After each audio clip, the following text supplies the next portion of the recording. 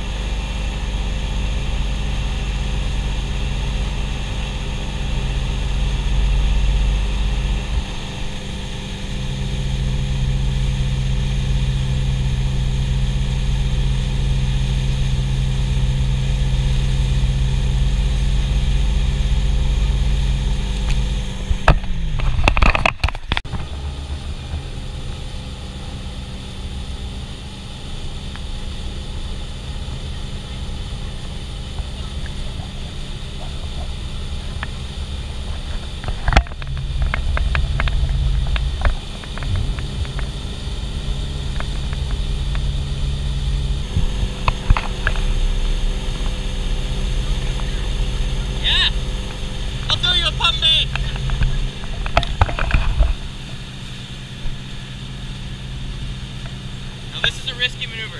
Throw him a very accurate, high-lofting throw.